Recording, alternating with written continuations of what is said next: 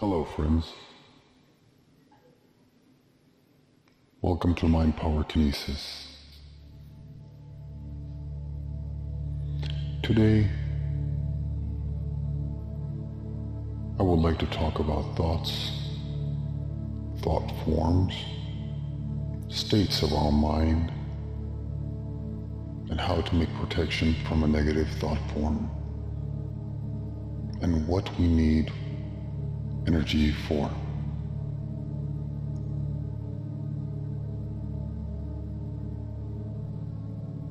So if you remember,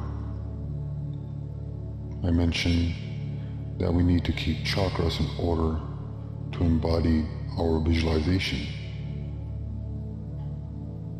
We need to keep a free flow throughout our chakras. And to develop a certain siddhi, superpower, connection, the main problem is with others that they dream.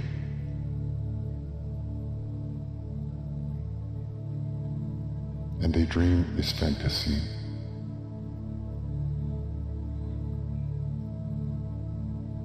They want something, but do not know how to embody their thought form in life. So that is something we will talk about today.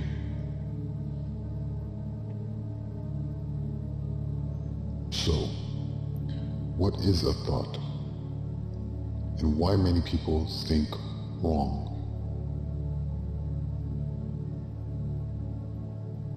First off, as you might have heard in the last few lectures, our thought is a linear wave. A thought goes directly from you to an object or who you are thinking about. For instance, we want something, and we used to think that just thinking about it, we can make it come true. But this is a mistake because we don't know all factors. We're not sure or we don't know how our thoughts will bounce off. Just like playing pool, billiard, snooker. When you hit the cue ball, it flies off the board, bounces, and you can roughly calculate the trajectory of the ball as it will roll. But if we imagine this ball in multi-dimensional space, we won't be able to predict its trajectory. And this is where the main problems occur. When we think of something, we think in a linear wave, from here to there. In order for your thought to quickly run into life, or create life, you need to understand such a thing as mental vacuum, mind vacuum. And without it, you cannot do anything. Why I stress on mind vacuum? Because it's like warming up your muscles before training. Warm up does not give you any strength, but it does save you from injury and any muscle rupture when lifting large weights or performing some complex exercises. So one must keep mental vacuum in mind, have a habit. Only then you'll be successful in life. Your mind will be clear to execute any thought, anything that you desire. And it takes a lot more. So practice this on a daily basis. And today's lecture is very important. If you if you are able to understand it, you'll basically understand 85 to 90 percent of all our connections, abilities, or superpowers.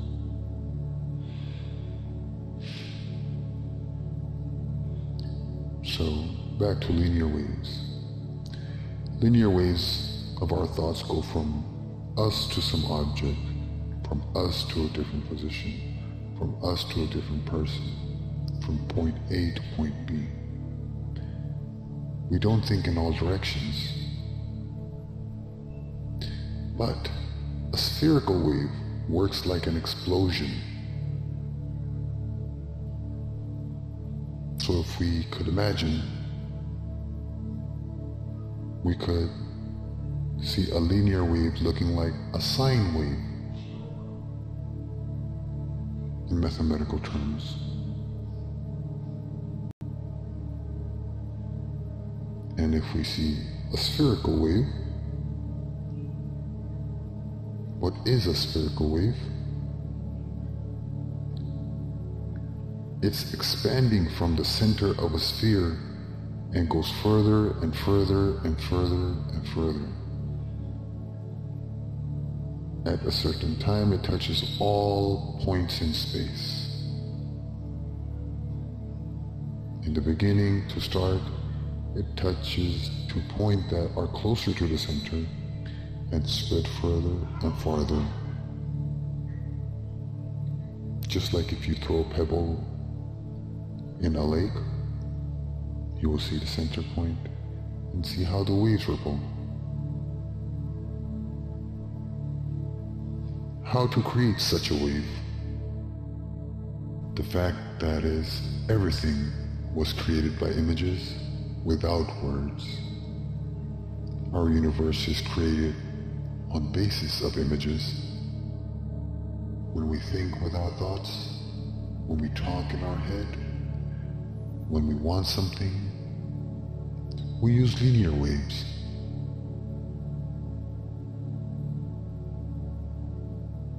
That's when we think with our thoughts.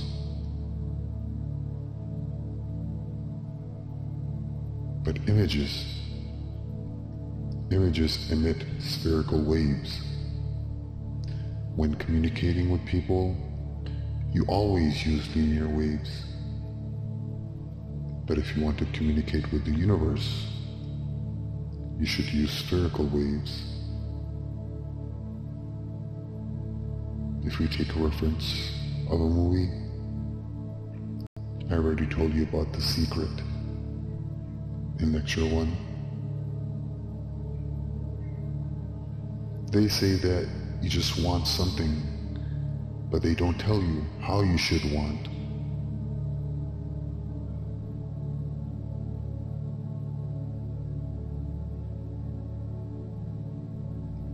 Why they don't tell you how in that movie. I wonder if they will tell, maybe many people will be able to achieve great heights. Of course, not everything is possible. Not everyone thought runs on implementation. So how we create a spherical wave? How do we communicate with the universe? The first factor, which is important, is to correct work of our chakras. Friends, why I always come back to chakras? Because it is our energy. It's like an air. If you don't have good air in the gym or a bottle of water, you will be very hard to train. You will struggle. Same here. Without a correct work of chakras, your thoughts will remain at the level of fantasy. I am often asked by my students why there's a lot of allegorical information about chakras in the Bible in the Quran or religious texts. As far as I can tell or observe, it's because the Bible was written by people who knew about the chakras at that time. But they live, or they try to live in accordance with the law of the universe and tried to present them in an accessible way.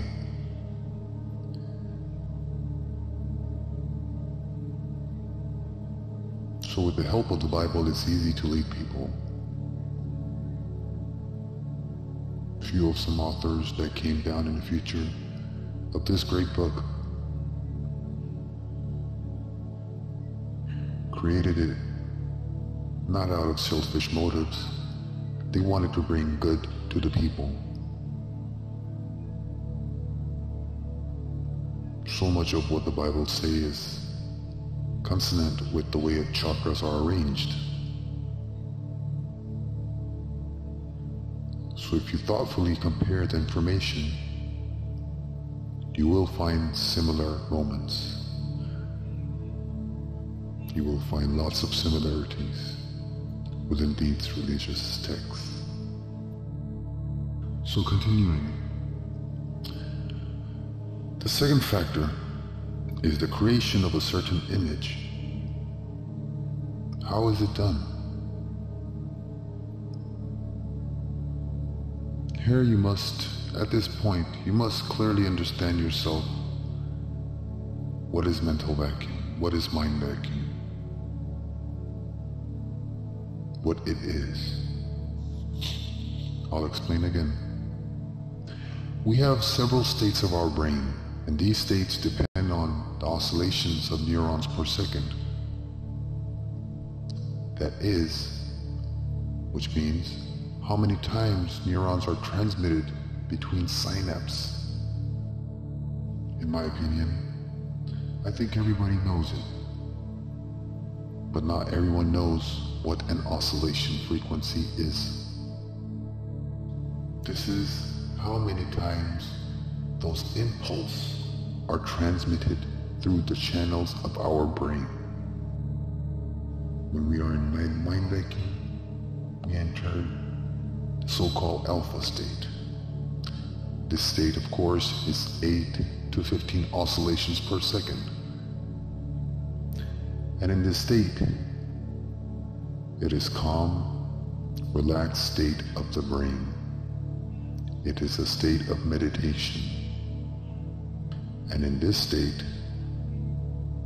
when we enter, we can repair our subtle bodies very well. So in alpha state, we can repair our subtle bodies very well. Psychokinesis is one thing, but to repair yourself, this is almost close to immortality. How well you repair your body how quickly can you repair your body? Alpha state is one of the states where you can relax, program yourself, repair your body.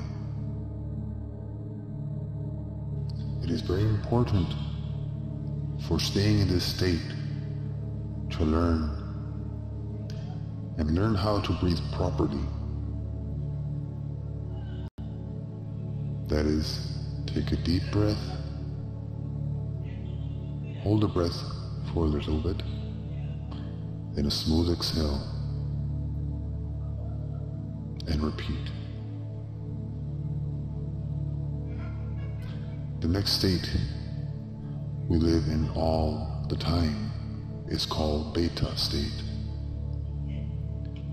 This is from 15 to 25 oscillations per second. There's also a state over beta, higher beta, which is 30 to 45 oscillations per second, and then a super beta, 50 to 120 oscillations. This is the state when geniuses thoughts suddenly lit up, a state of excitement. It also could be a state of excitement fear, irritation, and anger. People who are in businesses such as security patrol, police, army, anything that people protect, they often get into such situations when they need to make decisions very quickly.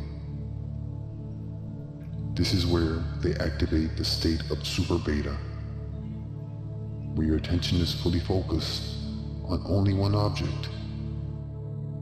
But here, our task is not to try to become super, Superman by accelerating our thoughts, rather to get into a state of alpha. That's what we're trying to achieve. So this state is like sleep, easy, relaxed. There are also lower vibrations in the brain state, which is theta and delta. Theta is 4 to 8 hertz. This is also called the twilight state, the trance state. When you meditate and fall into a trance, you enter to a theta state, but here you need to be very careful because in this state, your consciousness is almost disconnected and you become very exposed to any impact, which is the entrance to your subconscious is very simple. Logic is completely disabled. If someone tell you in this state that you are a giraffe, you will be a lifetime thinking that you are a giraffe. Even in this state, it is also quite easy to treat a person. It helps in healing. It helps in removing certain blocks and fears from him. But to enter the state of theta for self-treatment can be very dangerous. And only very advanced yogis knows delta state. It takes lots of discipline, lots of practice. Anyone can achieve it. Just take discipline and practice. Choose your journey wisely, because this condition borders on clinical death, less than 4 hertz. In this state, you couldn't even get out. In other words, you could be vegetable if you're not taking precautions, proper way to develop this. But then again, it's all theory. Nowadays, there's a lot of scientific research on these states and they're bringing more meditation and other ways to help others. Now, back to the practice. We have to learn to enter alpha states. And to do this, you can't take a comfortable position. Find a good place. This is where you're going to enter a state of like meditation It's not always necessary to fold your legs into a lotus position. You don't always have to resemble as a Tibetan monk. If you're over 45, 50, and your body is not quite flexible, it is uncomfortable to sit in a lotus position, then just take a comfortable position. Point is, try to completely be comfortable and disable all your thoughts and images. Because if you don't, it would be the same as not trying or not tying your shoelaces before running. Learn how to enter alpha state correctly. I don't recommend you to descend to a lower vibration, such as theta state. Because if you fall asleep during this meditation, it defeats the purpose.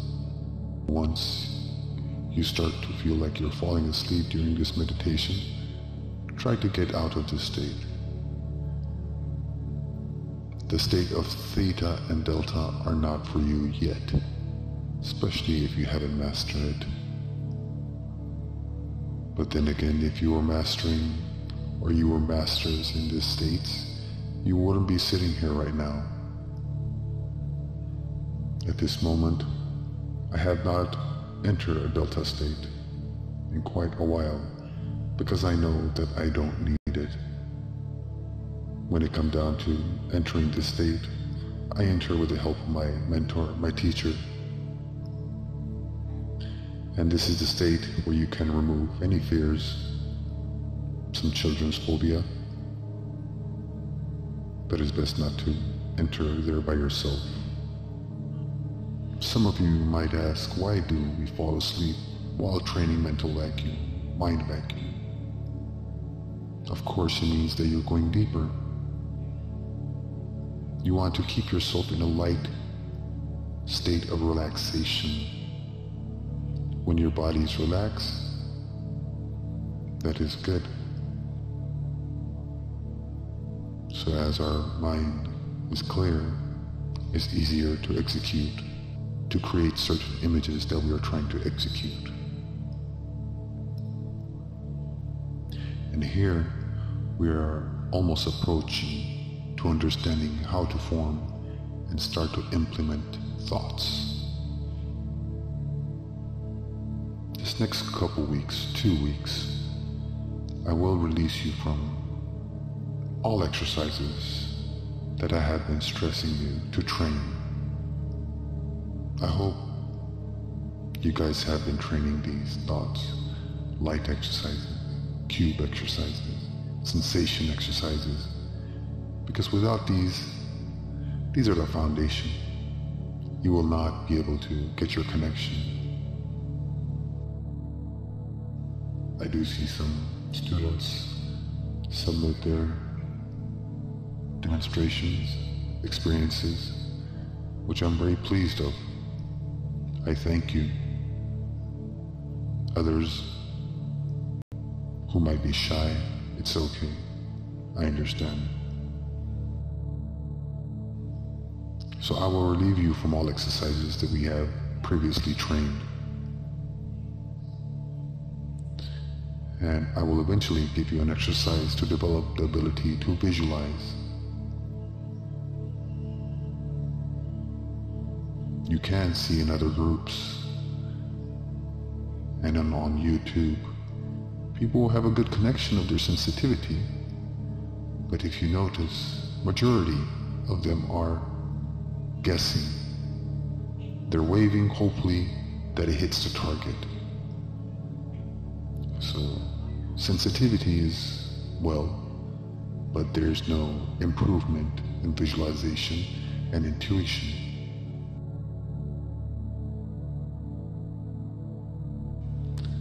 And we will dwell in this subject,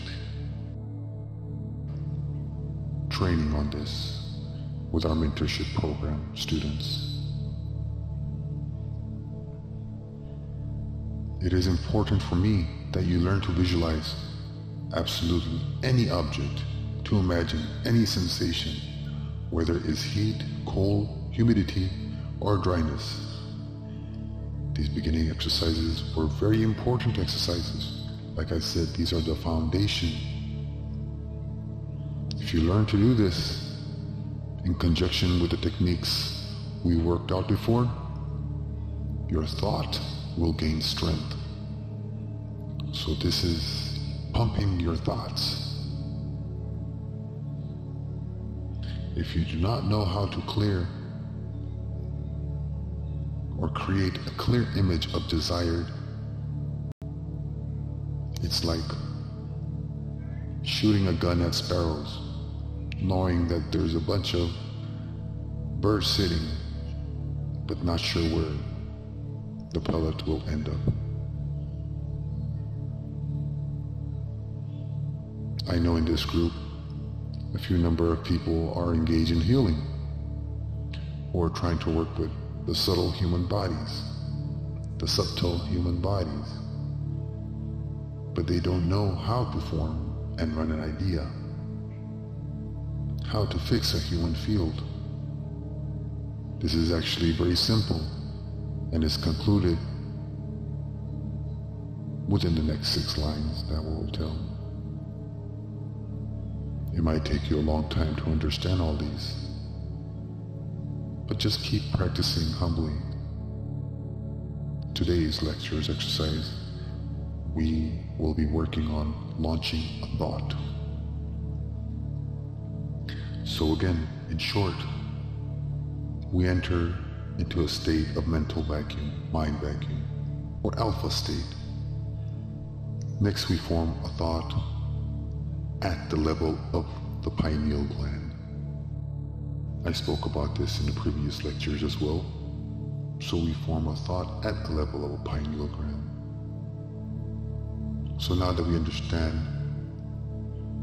that thoughts are impulses of brain, some kind of flashes. And our thought, our brain, our brain does not give birth to thought. It only processes it. Our brain does not give birth to thought. It only processes it. Now imagine the following analogy. Thought is like a channel with the internet. It's just a cord that you connect to the computer, and your brain is the computer that processes the information. Usually, we think in linear waves, point A to point B. And we know the pineal gland emits spherical waves. I did a post about the pineal gland in the ancient Egyptians. If you look at the historical paintings, the pine cones forms were very common. All these were for a reason. It is all about a process of launching a thought.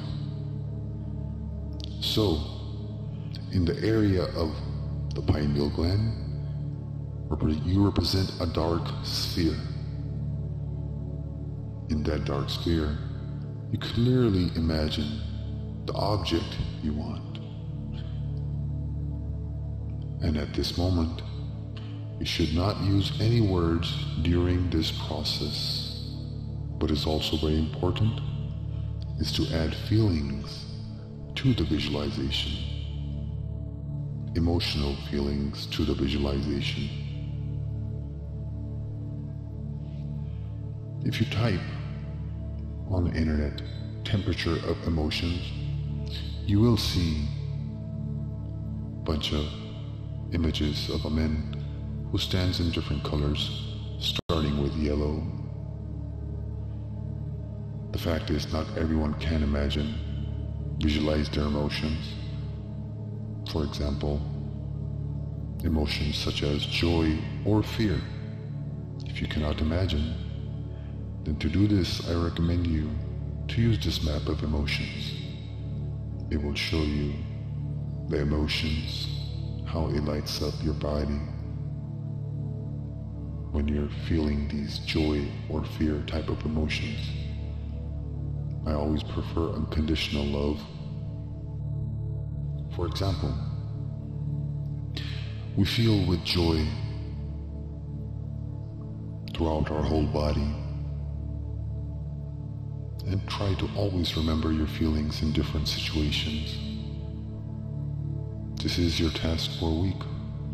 Track all your feelings joy, anger, envy, fear, love, hatred Feel these, track them, which part of your, if your body illuminates. And if you find it difficult to track where, where these emotions are being born, then use a temperature map for, of emotions. Carry it on your cell phone. Take a screenshot or just print out and have it in your pocket.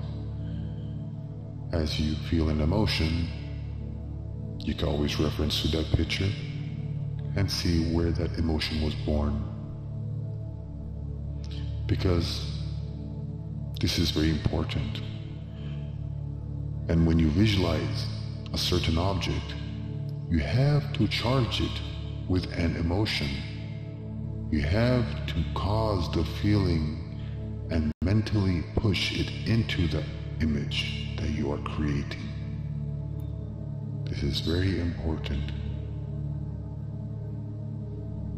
I will repeat this. When you visualize a certain object, whatever your creation is, what you desire, you have to charge it with an emotion. You have to cause the feeling and mentally push it into the image, that emotion. And this is a very important part, how to finally run it or run your thoughts. one of our students, she did a lightning trigger video. She knew the moment her intuition told her that she visualized and executed, and lightning was created. You create a thought, create that reality, you charge it with an unconditional love emotion, and send it out. Shoot that image out. Again, once you visualize a certain object, you charge it with emotion, you feel that emotion, and mentally push it into the image that you created. Up to this point, you only see the picture, but the picture exists only in your imagination. So what's happening? The universe doesn't know what you want. When a person kneels down and begin verbally praying to God, crying towards the universe, asking for help, they remain unheard. Because the universe doesn't know our language. All the people think in exact same way. Images are sent everywhere the same. I can declare that mental images of other intelligent beings on other planets are also the same. Just as the same way our great grandfathers, other civilization, advanced civilization, and even as beings on other planets, mental images are the same everywhere. So we create a desired image, put an emotion in it, and then you begin to concentrate on this object, I always suggest using the following scheme because it works. I usually imagine all objects, people, and things in one photo. And then I start to compress this picture into a small sphere, increasing the concentration of events in it. And then I rotate it clockwise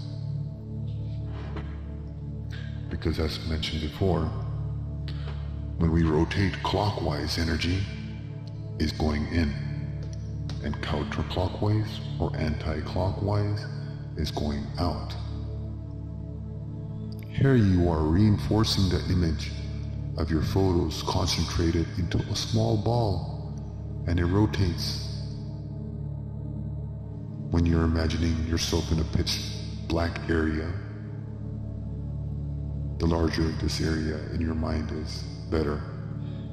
Then you can concentrate the sphere with image at the level of your lead chakra and start to expand it.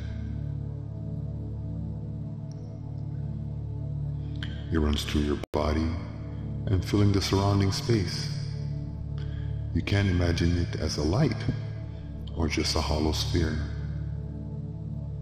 And when you run a thought that way, it works 100%. Now that you have learned how to actually run thoughts, and why just regular chatter, mental chatter, in a form of mental request and prayers does not work, you must put emotion. So, Remember the cube, the ball visualization exercise? It was preparatory to allowing you to create a clear image. If you don't remember it, you can always go back to units and look for that exercise. Once again, these are the foundations. If you do not practice, you're just too eager just to throw some visualization and just move the ball with your pulling and your sensitivity, you will get just so far. Properly develop yourself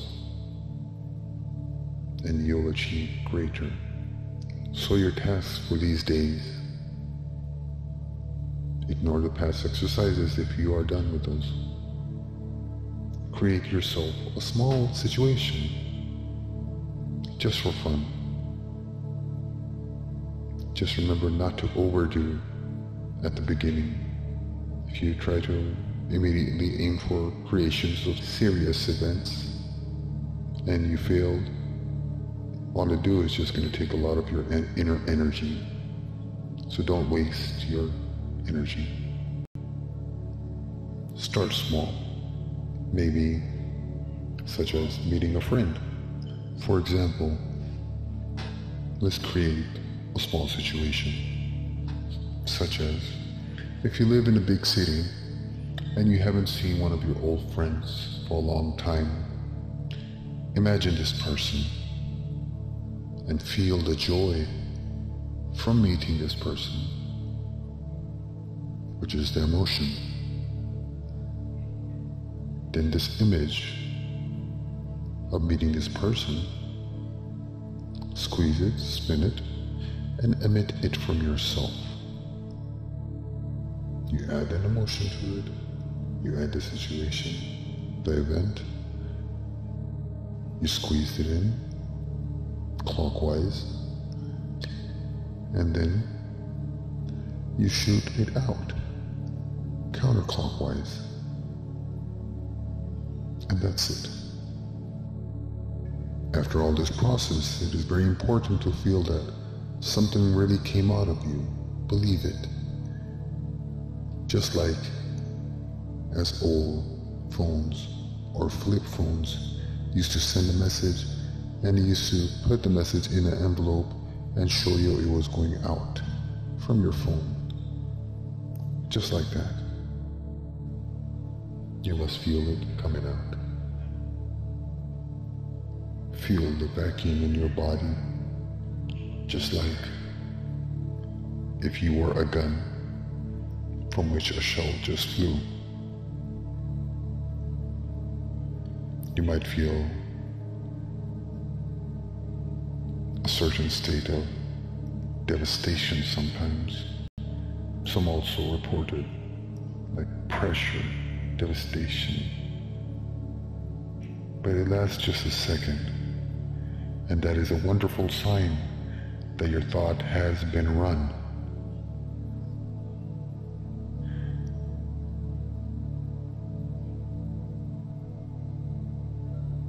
And as you generate lots of energy within you through your chakras, your inner energy, then you can create bigger and bigger events. Now, the next point you need to know that easy situations can be run frequently.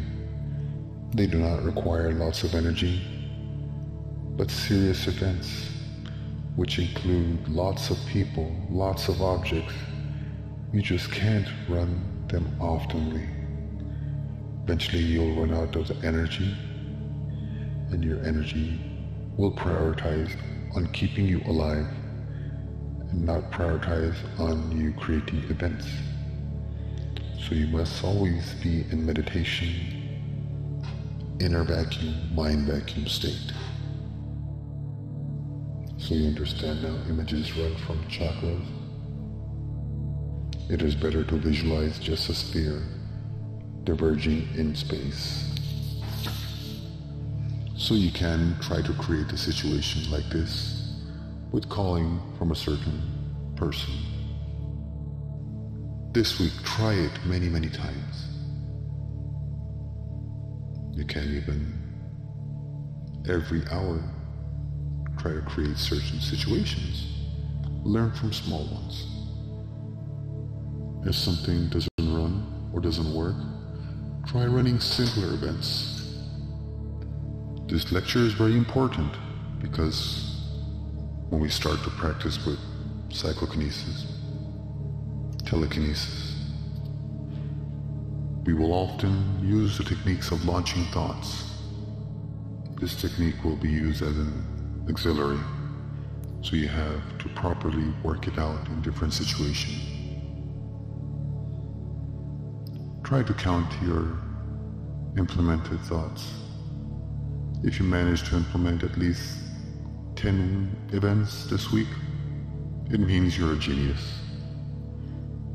Thank you for your attention. I'll see you soon. Pakman was here. Unconditional love.